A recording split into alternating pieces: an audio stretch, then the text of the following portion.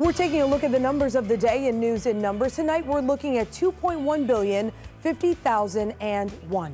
First, Google is getting into the fitness tech game. The company is buying Fitbit, who pioneered wearable exercise technology. Both companies have been trying to catch up with Apple, and now they'll do it together. Next, UPS says it hired around 50,000 people today. November 1st is Brown Friday, the shipping company's seasonal hiring event. Retailers are also ramping up their hiring just in time for the holidays. Finally, don't forget to change your clock back one hour this weekend. Yes, we still obey daylight saving time, even though we voted to get rid of it. Congress still hasn't taken up the issue, but at least you'll get an extra hour of sleep. 10 weather.